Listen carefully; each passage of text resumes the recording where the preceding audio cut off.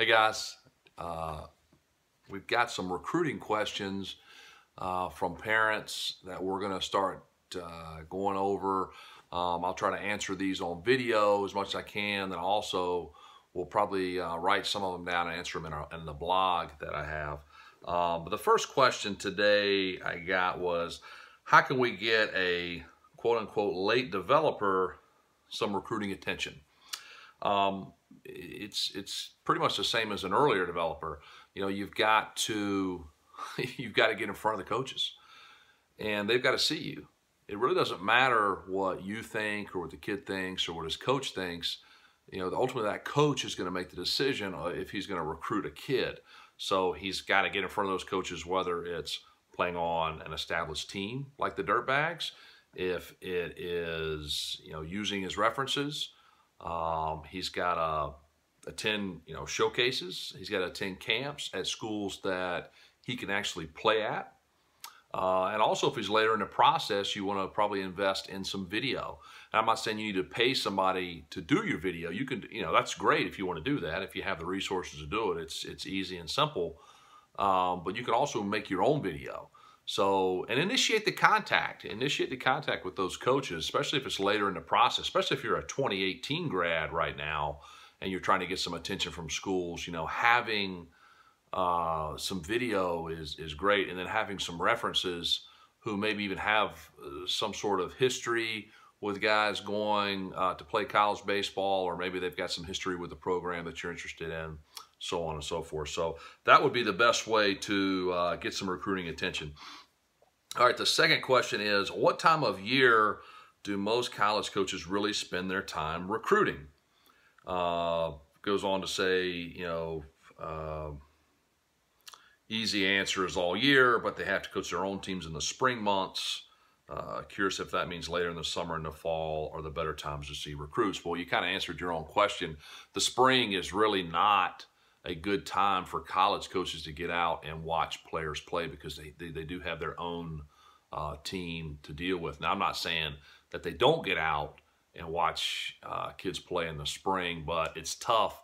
So, you know, really Mondays is the only day that they would have off. Now, I would do that when I was at Forsyth Country Day. We tried to, I was a coach there for three years from 2009 to 2011, and we had a lot of kids move on to play college baseball and to get drafted.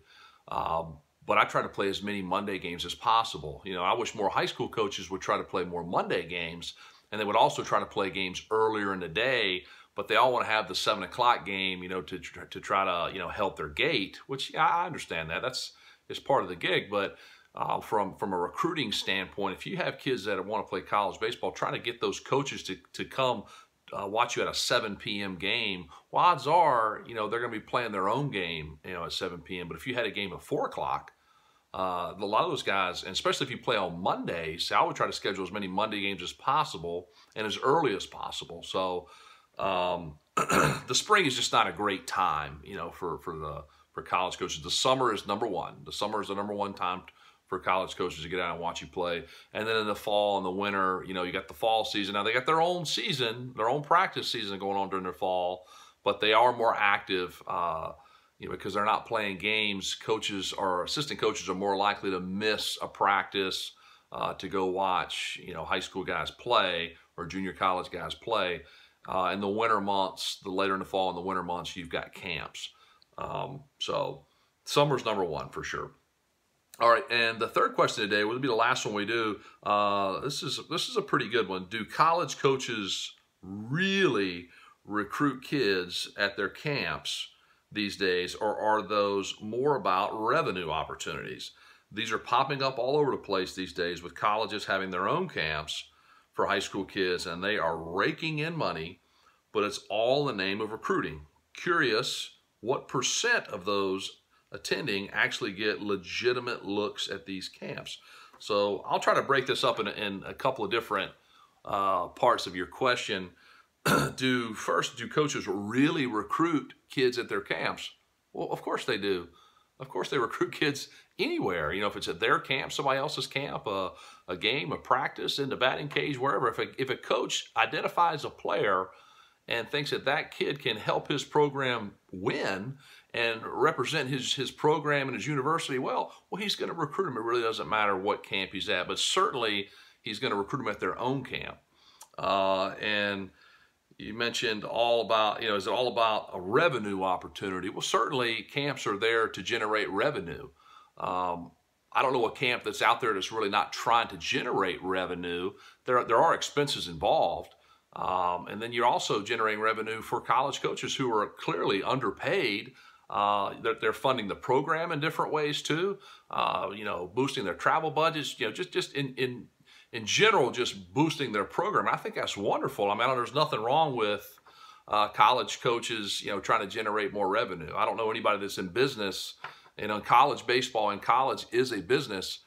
Uh, I don't know if you're in business to lose money, then you're an idiot.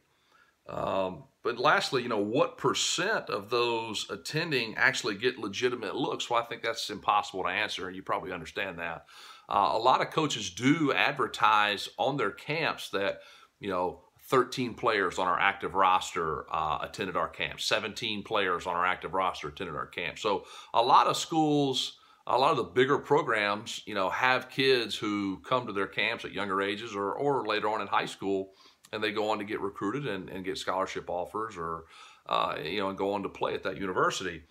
Um, but the percent, I mean, I think it's impossible, you know, to even try to guess. You know, every school is different. You know, not every school has a lot of camps. Some schools have a ton of camps, so it's it'd be impossible to try to answer those. So um, I hope you guys enjoyed that. You know, if you have any other recruiting questions, uh, send Roxanne Markey at the dirtbagsbaseball at gmail.com. Send those over to her and uh, we'll try to answer them uh, the best we can. See y'all next time.